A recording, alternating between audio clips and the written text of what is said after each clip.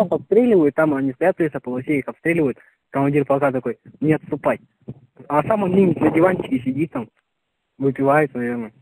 В загашнике, да? Ну, не отступайте, говорит. Ну, они, они, они такие, это нам по телевизору показывают в кино. Красивых, сильных, мощных командиров. Пиши нахуй отказной, если только выскочишь. Можешь снимать погоны, блядь, шапку, блядь, и насрать и одеть на голову своему комбату, блядь, или комбригу, нахуй. И пусть, блядь, ходит, сука, утирается, блядь. Пошли они нахуй, блядь, с такой войнушкой, блядь. Сука, блядь. Все, я говорю, у меня просто, я я вот этот маразм слушаю, блядь, у меня просто, блядь, в голове это не укладывается. Пле -пле Плешивая скотина нам каждое утро по телевизору рассказывает про новое оружие, которое, которое вся Украина как увидела и напугалась, блядь.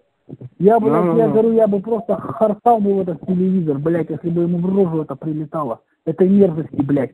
Плешивый, сука. Крыса, блядь, никчемная, бункерная, блядь, тварь нахуй.